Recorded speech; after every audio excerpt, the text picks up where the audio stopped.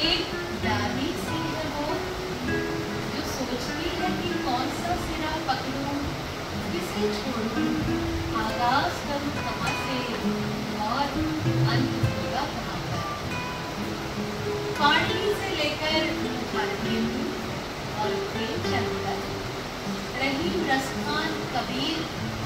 की आवाज़ में बदल ब्रिज अवधि वाणिज्य कारोबार, मौद्रिक लेन देन व्यवसाय और तकनीक के साथ अवरोधित है। घनिष्ठ रूप हमारी